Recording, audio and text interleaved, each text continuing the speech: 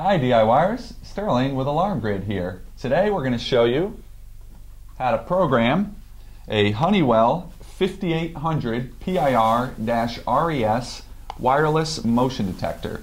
5800 is just the common series. 5800 series is any wireless device that works with a Honeywell wireless panel. PIR means passive infrared. That's the type of technology that this motion uses. That's the most common type of technology used with a motion for a burglary alarm system. And RES means residential. So that doesn't mean you can't use it in a commercial application. In fact, this is by far the most commonly used motion with a Lynx Touch panel. So even if you're in a business, don't feel like you can't use this sensor. This motion is included with the kits that we offer on our website. It's also included with kits sold by nearly any alarm company that's offering this Lynx Touch L5200 system. So inside our box we have our motion detector and we have our battery which will power our motion detector.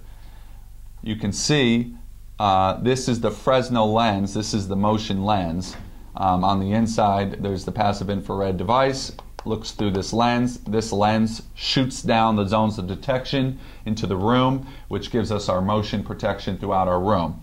At the bottom here we have this little tab that we can depress to pop it open and you can see it consists of just a plastic back plate which we use to affix to the wall. There's screw holes on the back and then there's screw holes that you can drill out on the side for corner mounting. That's what you do with the back plate. And then we have our actual motion detector which is on the back side of this plastic and then again seeing through the lens. To give power to the unit we need to insert our battery the 5800 PIR Res uses the same battery as the 5816 door and window sensor, the CR123A. It's a 3 volt lithium. And right here in the plastic of the device, you have an imprint for a positive and a negative so you know exactly how to install your battery. Your battery, you have your positive side and your negative side, and you simply snap it in place. Now our motion has power and every time we wave our hand in front of it or move, we're getting this light to indicate that it's picking up motion. That LED uh, indicator is only live during the first 10 minutes after you power up the unit. You can reset that 10 minute period by popping the battery out and putting it back in, but this is designed so that you can temporarily mount it where you think you're going to have it, and you would be able to walk throughout the room and make sure that that light is coming on every time you have motion. And then you would know that that is a good installation location, and then you could program it to the panel and permanently mount it. Again, after the 10 minute period, that light cuts out, the motion is still working, it's just no longer giving you the visual indication. The reason it doesn't do this all the time is because we want the battery to last longer than it would if it was indicating the LED each time. So I just want to point that out. Now that we have the power and we know how this device works, we're going to show you how to program it to this system. So the Lynx Touch L5200, we're on the security tab, which from the home screen, you hit security to get to here, and you have an option for more at the bottom right. When you hit more, you then see the option for tools.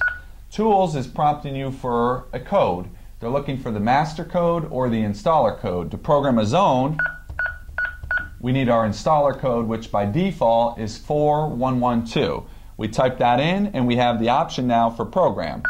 When we hit program, we see at the top it shows that we are in system programming. That yellow bar at the top doesn't go away. That's no matter where you are in programming, it will show that. For the motion or for any sensor, to program it, we have to go to zones. All right, and here we have our list of our zones. We already have some sensors programmed. So this is our motion that we want to learn in, and we're going to choose the next available zone, which happens to be zone 8. When we highlight it, it says uh, it goes to blue. We see zone 8 new, and we have the option to edit the zone. And that page is the zone 8 edit screen, and this is where you learn in the sensor.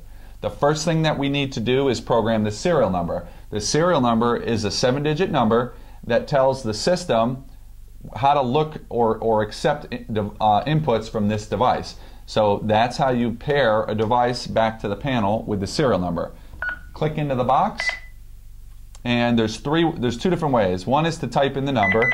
The other way, which I'm indicating just by moving around, each time I move is faulting the device, and you have to fault it three times to get it to learn in. You heard it beep once, you heard it beep twice, and now we've heard it beep three times.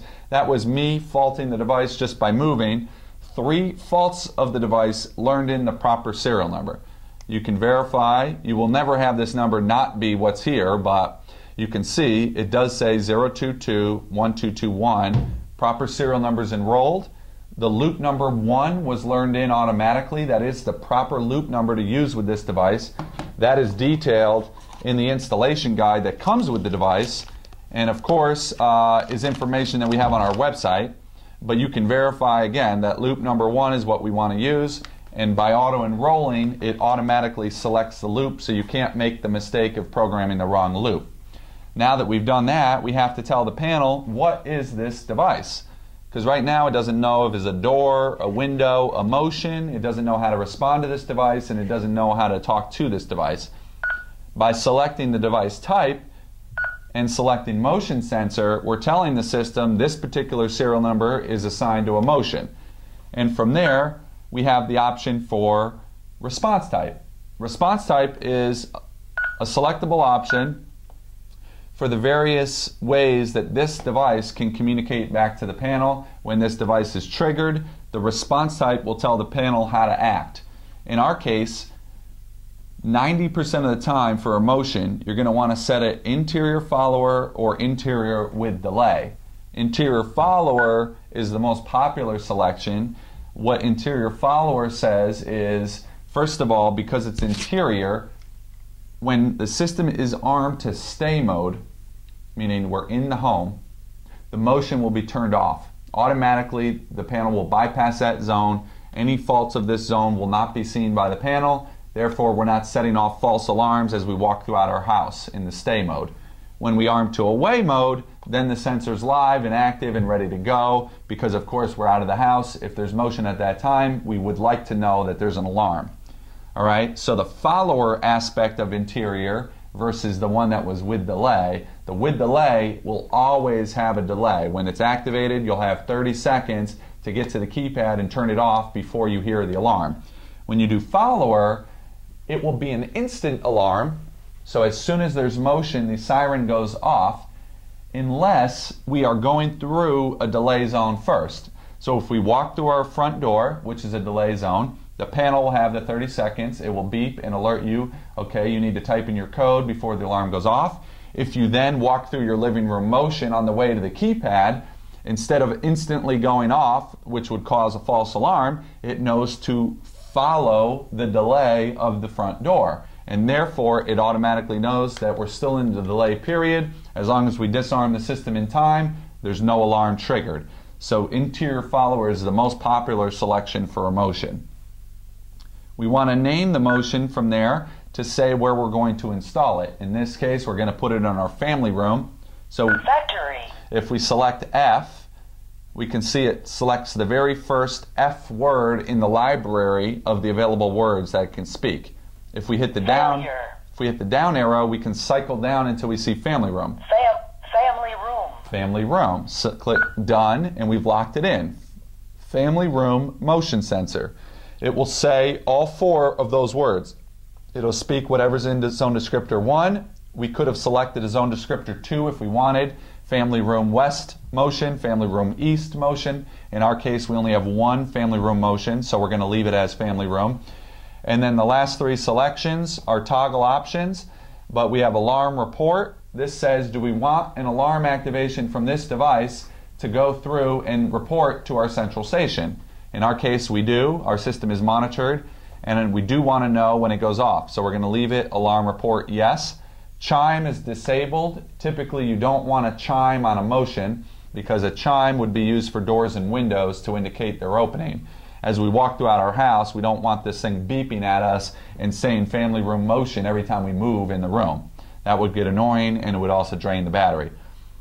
Supervision is supervised. That just means that the panel will check and see that this device with this serial number is checking in properly. It does that check every 12 hours and if for some reason the panel was not seeing the device, after the 12 minute, uh, 12 hour period, it would indicate a supervision fault, and then you would know you have an issue to address with the motion. Perhaps it's out of range or installed in a spot in the home where there's interference back to the panel. Uh, or perhaps the device has been completely destroyed and therefore the panel's not seeing it. So the supervision will tell you and make sure that the device is active when you need it to be. So we save it to lock in our settings.